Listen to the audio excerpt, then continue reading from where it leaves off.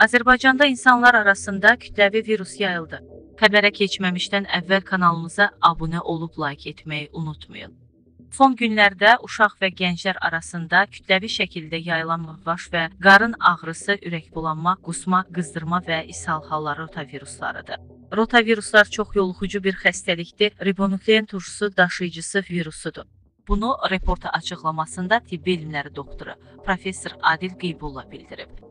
Onun sözlərinə görə bu virus mövsümi olaraq kütləvi şəkildə yayılır və sonra yoxa çıxır. Virus həddən artıq yoluxucudur. Ağır diareya törədir. Uşaqların bədəni su tutumu az olduğuna görə ishaldan sonra bədən suslaşır və onlar adətən xəstəxanaya suslaşmış bədənlə daxil olurlar.